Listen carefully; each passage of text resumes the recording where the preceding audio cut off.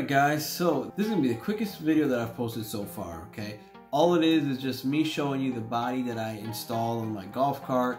It's a beautiful color. I at least love it. I think it looks really good on the um, uh, on the BMWs and the Audis and stuff like that. So it's the same color. It's called Nardo Gray.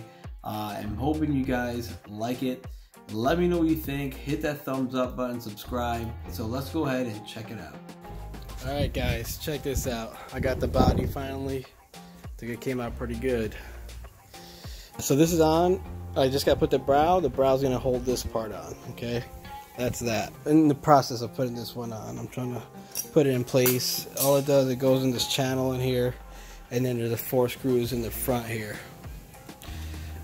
You got one here, and then another one on the other side, and then the, uh, one here, and then one there. But I think it came out pretty good.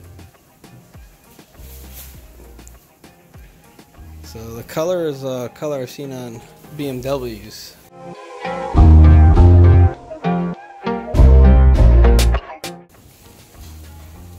So this is gonna look good. I'm happy with it so far.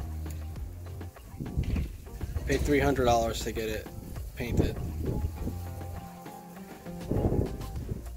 Alright guys, so hopefully you enjoyed that video. Um, I know it was quick.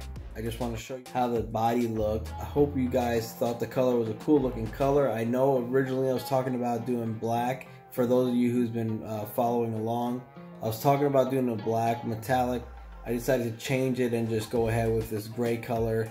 It's Nardo gray. Uh, they use it for BMWs, I think Audis and some other cars. So I thought it was a cool looking color, so I decided to try it on a golf cart. I haven't seen golf carts with that color.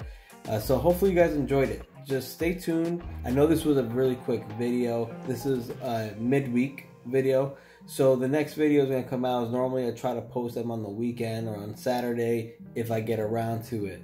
So this would be midweek, like a Wednesday video. It is a really quick video. So the next video after this, you should be seeing, uh, it's going to be for the tail light installation. If you watched the previous video, we installed the whole light kit.